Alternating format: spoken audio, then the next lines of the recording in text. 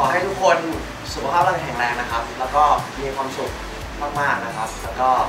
ขอบคุณทุกคนมากเลยที่วันนี้มาวันเกิดเรานะครับ